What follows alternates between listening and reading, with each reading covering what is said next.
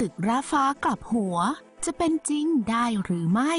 เผยแผนใหม่สุดมหัศจรรย์สำหรับอาคารที่อาจจะสูงที่สุดในโลก ซึ่งจะไม่ได้สร้างขึ้นจากพื้นดิน แต่กลายเป็นห้อยแขวนลงมาจากฟากฟ้าแทน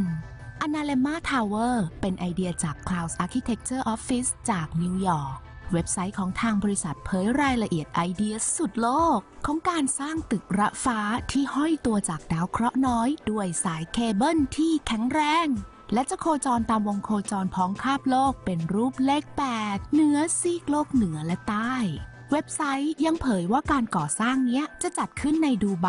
ซึ่งประสบความสำเร็จในการสร้างอาคารสูงระฟ้า ด้วยราคาเพียงหนึ่งใน 5 ของค่าใช้จ่ายในนิวยอร์กซิตี้ เมื่อก่อสร้างแล้วเสร็จ อาคารจะถูกย้ายไปยังนิวยอร์กด้วยการขนส่งผ่านวงโคจร เนื่องจากด้านบนของตึกจะได้รับแสงแดดตลอดเวลา Analemma ก็เลยจะได้รับพลังงานจากแผงเซลล์แสงอาทิตย์ โดยมีแหล่งน้ำจากการกรองและรีไซเคิล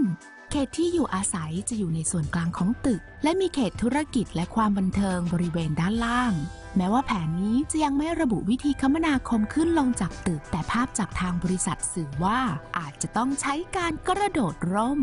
เนื่องจากข้อเสนอเป็นแบบไอเดียกระฉูดเกินความคาดหมาย ทางบริษัทจึงยังไม่ได้ระบุว่าจะสร้างเมื่อไหร่ หรือแม้แต่ว่าการสร้างน่ะจะมีขึ้นจริงหรือไม่